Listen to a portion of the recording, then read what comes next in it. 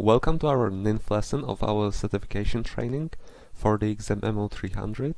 So Microsoft Office Specialist PowerPoint Associate 2019 and in today's lesson we will finish the second chapter of certification objectives and namely we will learn to hide and unhide slides, modify individual slide backgrounds, insert slide headers, footers and page numbers, order and group slides. So in this category we'll learn to create sections, modify slide order and rename sections. So yeah, let's begin with the first objective which is to hide and unhide slides. And yeah, so to hide your slide you will right mouse click on the slide and click hide slide like that. And you can notice that there's a slash indicator and the slide is whitened. So that's how you know that the slide is currently hidden.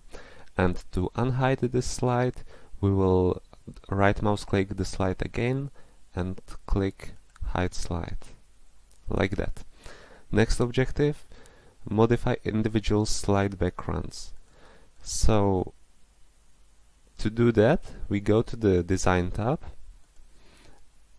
Format Background, and there is a vari variety of options. So let's go through them quickly. Solid fill, so the slide will be uniformly filled with one color. We can set the color here, so for example, like that.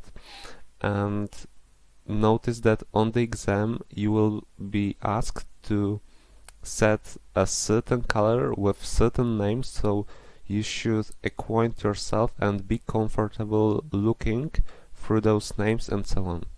Okay? Next up we have gradient fill. This is kind of advanced and probably won't be on the exam so you can set a gradient uh, with one color on the left and another on the right. You can at various points you can set the angle in which the gradient is set like that. What will be or at least was in my case on the MOS exam was to set the picture or texture fill. So here you can insert picture as a background for your slide but for example I was required to set some kind of texture. So whether it might be the denim texture or the water droplets texture and so on. Okay? And next up you have certain pattern fills so you can always look and go through these options. Okay? And you can also as we learned in the master view lesson you can hide background graphics like that so let's reset the background. Perfect. And let's go to the next objective, which is to insert slide headers, footers and page numbers. And we can of course go to this slide. So to insert those, we go to the Insert tab and here under the text category we have the option to insert header and footer. So you can see that there's also quite a few options here. So we can set date and time we can insert slide number and footer. So yeah for example just what is happening? Oh I have okay. So like that. And we can also choose to not show the header and footer on the first slide. So let's do that let's apply to all. And you can see that in on each slide we have the text footer. We have our slide number. And there's nothing on the first slide. Perfect. The next objective is to create sections within your presentation.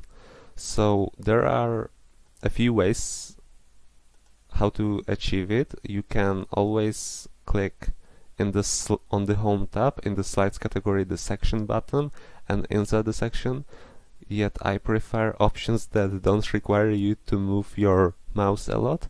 So you can simply click on the slide or click in between the two slides right mouse click and choose add section.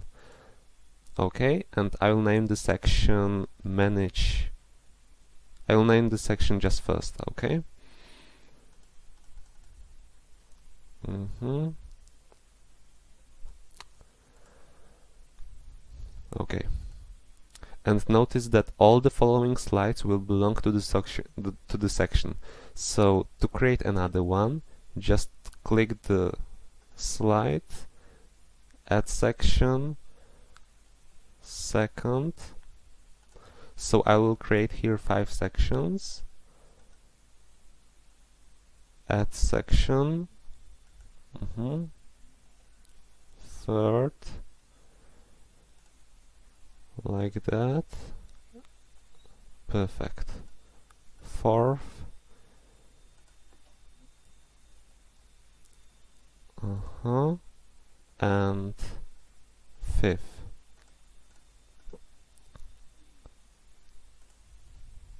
Perfect. So we have created individual sections for our presentation and another objective is for example to rename those sections. So when you want to rename it you just click on the name of the section right right mouse click and click rename section.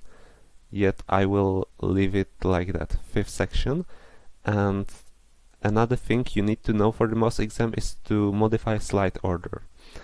So in this view you can always simply click slide hold it and move it around like that. Fairly simple. What I like to do is to always choose the slide sorter view when you want to move your slides. So even in the slide sorter view you can for example choose a certain range of slides and move it around like that. You can also click or select uncontinuous range of slides, for example these, and also move them as a group, like that. And in the slide sorter view, you can, for example, easily move another section. So just click on the section name and you can see that I can move the first section, for example, before the first section, and now it's at the beginning of the presentation. So that's how you can move slides in your presentation and I encourage you to play with those options that's all for today's lesson. I hope you find it valuable. If so, smash that like button. Please subscribe because most of you who are now watching are not subscribed. And yeah guys, see you in the next time.